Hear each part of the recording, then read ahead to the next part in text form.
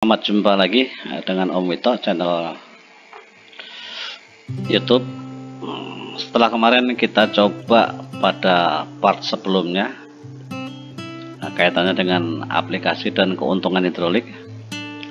Eh, Selanjutnya saya akan sampaikan terkait dengan eh, prinsip dasar hidrolik. Hmm. Kita lihat ada sebuah mobil sedan uh, yang sangat bagus. Uh, di sini ada piston hidrolik dengan ada luasan tertentu. Nah, ada dua channel, dua kanal. Yang sebelah kiri ada juga ada piston, tapi uh, kanalnya lebih kecil. Jadi, kenapa orang ini bisa lebih berat? Gitu ya? Daripada kendaraan. Nah, jadi kenapa bisa lebih berat dari kendaraan? Jadi prinsipnya itu adalah di hukum Pascal ya. Jadi F itu P kali A. Beban F ini mobil, beban F orang ini adalah tekanan yang ada di dalam fluida ini kali luas penampang kita tahu di sini luas penampang untuk mobil itu sangat besar. Nah, sementara luas penampang untuk yang didudukin orang sangat kecil gitu ya. Di gambarannya kalau uh, beban orang ini dikalikan luas uh, penampang gitu F-nya itu itu bisa lebih besar daripada beban mobil itu sendiri. Kalau luas penampang ini dikalikan dengan tekanan. Jadi, makanya prinsip uh, hidrolik itu uh, meng menggerakkan unit-unit yang besar uh, dengan unit-unit yang kecil. Jadi hidrolik itu bisa digerakkan bekerja uh, sangat besar gayanya walaupun digerakkan dengan unit kecil. Ya ini buktinya uh, mobil ini bisa terangkat meskipun di sini didudukin oleh orang. Ini karena adalah perbedaan luas penampang. Ya. Selanjutnya prinsip hidrolik itu uh, seperti dongkrak mobil dongkrak mobil. Kita tahu untuk mengangkat mendongkrak mobil atau mengangkat mobil sebesar satu ton atau lebih itu cukup dengan menggunakan satu tangan yaitu dengan jalan mendongkraknya itu. Nah, itu kenapa? Karena perbedaan luas penampang kalau kita lihat di sini contoh sederhana di gaya F sama dengan tekanan P. Nah, ini force ini pressure kali luas itu area kecepatan juga berbeda. Ini cepat di sini lambat. Sama dengan teori aliran kemarin ya. Sebelumnya teori aliran itu gitu. Jadi gaya F cukup digerakkan dengan tangan itu F set, tetapi bisa mengangkat beban yang sangat besar. Misalkan untuk dongkrak mobil tadi. Itu karena adanya tekanan dan luas penampang ini. Gitu. jadi ini pompa ini hidrolik jack ya, dongkrak mobil gitu ya. Jadi apa kalau kita lihat jadi ini cepat pergerakannya karena luas penampangnya kecil. Nah ini lambat naiknya karena luas penampangnya besar. Itu ini prinsip uh, uh, apa penting atau awal dengan hidrolik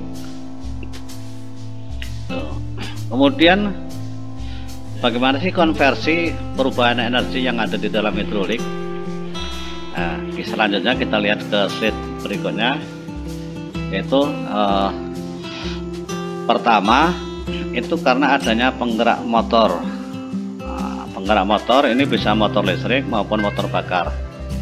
Jadi konversi energi pada unit hidrolik karena diawali dengan ini. Nah ini masuknya berarti ke energi listrik atau energi uh, thermal atau motor bakar dan lain-lain kemudian melalui kopling nah, diubah uh, perubahannya kemudian menjadi masuk ke pompa hidrolik pompa hidrolik ini yang memampatkan fluida pada tekanan tertentu sesuai dengan uh, spesifikasi daripada pompa-pompa itu tersebut.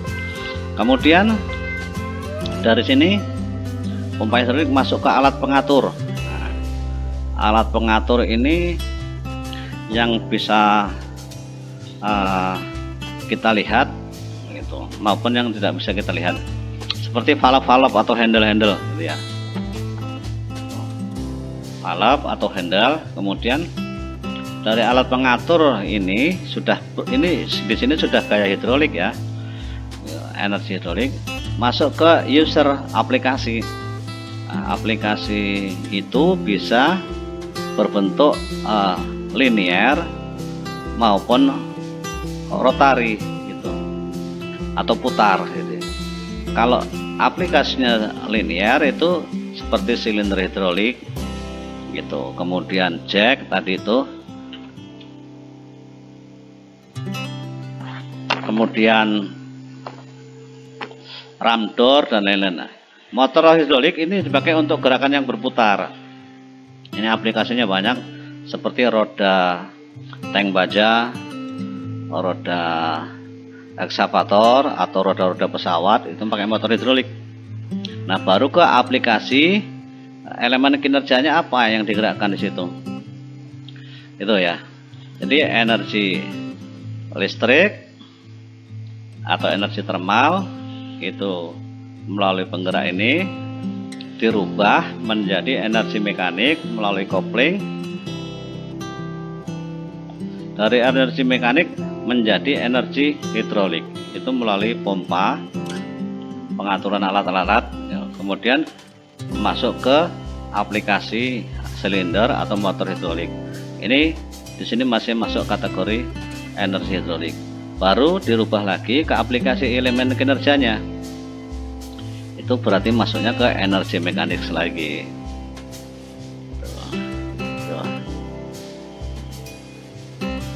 Contoh energi thermal atau energi listrik itu motor listrik atau mungkin motor bakar. Dan lain kalau untuk kendaraan-kendaraan uh, untuk sipil, semen dan lain-lain itu berarti motor bakar untuk memutar pompa melalui kopling atau melalui bel. Ini kopling ini gambaran kopling ini untuk kopling magnetik ini ya.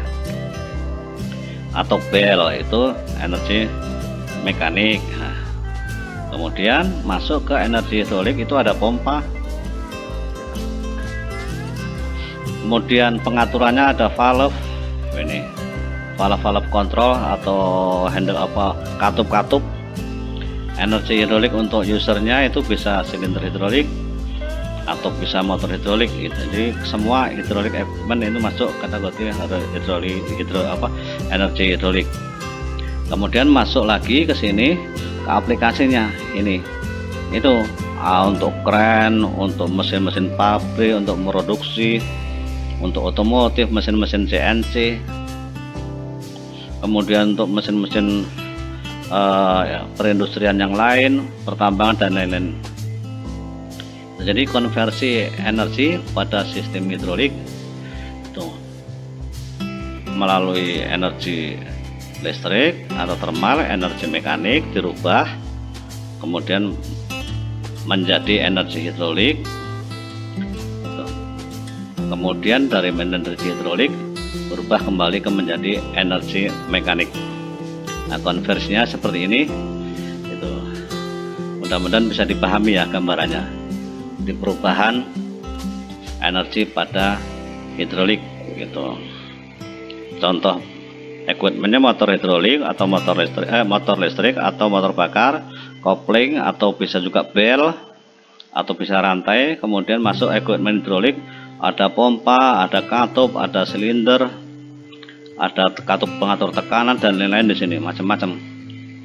Aplikasinya adalah untuk keren, untuk pertambangan, perindustrian, mesin-mesin, gitu kemudian uh, alat-alat uh, pertanian nah, semuanya itu bahkan kalau di mobil di power steering itu energi mekanisnya adalah di power steering itu yaitu untuk menggerakkan putaran roda depan bergerak ke kiri atau ke kanan. Nah itu di situ ada valve kontrolnya. Valve kontrolnya yang bisa berputar ke kanan aliran ke kanan ke kiri aliran ke kiri sehingga menggerakkan roda depan. Itulah kira-kira uh, prinsip awalnya untuk hidrolik ini. Selanjutnya dari berbagai pembahasan tadi kita mencoba ke power unit atau di dalamnya di sini ada tangki dan aksesoris hidrolik. Nah, seperti ini bentuknya. Pernah lihat ya? Ini kalau di dalam kendaraan berarti di dekat mesin yang diputar uh, menggunakan minyak sintetis ini bentuknya ada tangki. Nah, di dalam hidrolik itu selalu digambarkan dengan menggunakan simbol. Simbol dari hidrolik itu seperti di sini. Jadi satu rangkaian ini ini terdiri dari tangki. Nah, nanti kita akan bahas lagi tentang simbol khusus.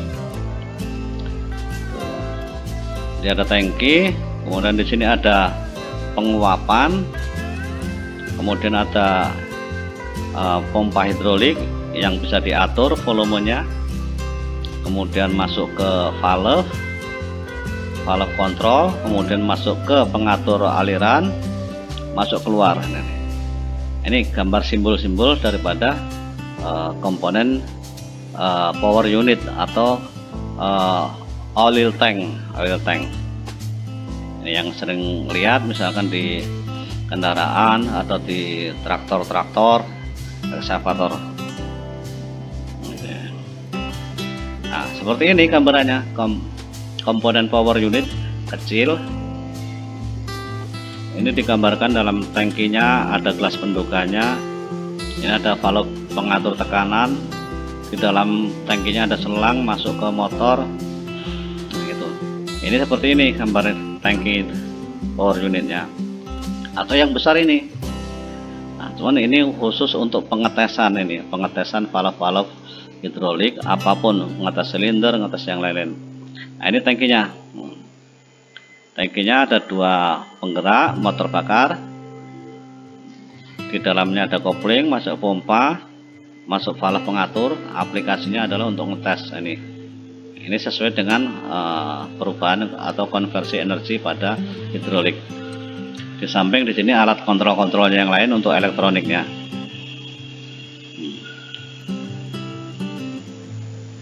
YouTuber ilustrasi untuk tangki hidrolik itu bisa seperti dalam klip ini jadi ini bisa berbentuk uh, memanjang uh, atau kubus dan lain-lain.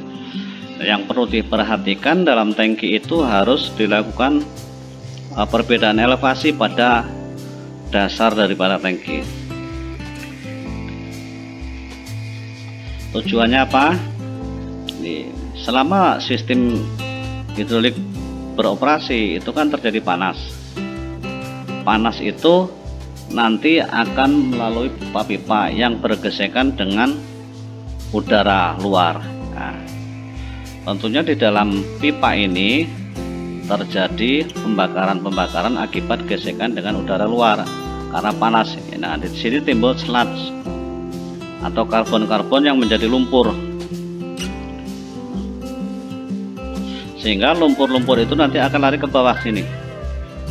Nah, kalau ini kita buat rata ini bisa jadi lumpur-lumpur tadi terisap kembali ke pompa sehingga menyebabkan valve cepat rusak. Nah kemudian ini ada saluran kembali juga dibuat miring bentuknya. Karena ini nanti udaranya awal kotorannya akan terbawa kalau dibuat rata gitu ya. Tidak. Kemudian ini ada pembatas pembatas chambernya